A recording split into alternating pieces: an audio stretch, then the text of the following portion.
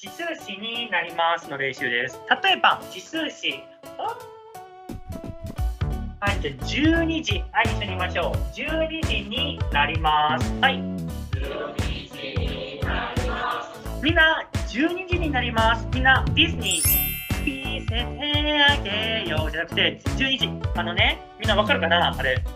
再々関連あのー、私はかわいそうな女の子。あなたは掃除をすればいいの。私たちはキャッソン、お城に行くわ。バイバイ。私はかわいそうな女の子。あなたは誰？私は魔法使い。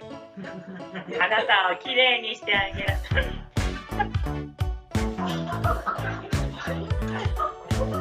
でも私はあの車がありません。チカシチカチカチカしたいね、車ね。うん。わかりました。かぼちゃ、パンプキン、パン。ありがとう、おばあさん。シングレラ、あ、言っちゃった。シングレラ。この魔法は12時になったらね、12時になったら、パラってなくなるよ。気をつけてね。わかりました。ありがとう、おばあさん。パカラパカラパカラ。うん。あー、ここは面白い。あ、王子様、ダンス、はい、お願いします。ガン。王子様、ごめんなさい。もうすぐ12時になります。私は、うん、会います。会います。ゴー。待って、あなたのお名前は？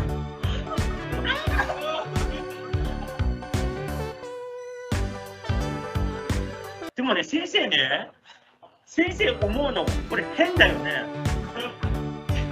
これシンデレラは、もうあ魔法がね、もうありませんだよね。12時でね、12時になります、魔法がなありません、なくなりますよね。知恵図。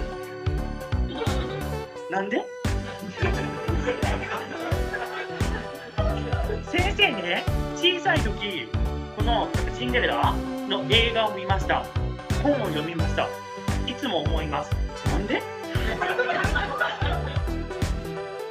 で、靴も魔法だよね。なんで。これダメだよね。ごめんなさい。すいません。日本上班族的周末，よっしゃー仕事終わった。今日はビール飲みながら朝までネットフリックス見たろあ部長や。あ部長お疲れ様です。明日は前出勤で。明日何時出社ですか？朝6時出社で。最高っすね。最高っすね何時ぐらいに終わりそうですかね？夜11時まで。ああと日曜日も同じ時間で出勤で最高っすね。ついでに土日仕事終わり朝まで飲みに行くか。ピピアおりやん。あなんでもないです。仕事大好きなんでめっちゃ嬉しいさではお疲れ様です。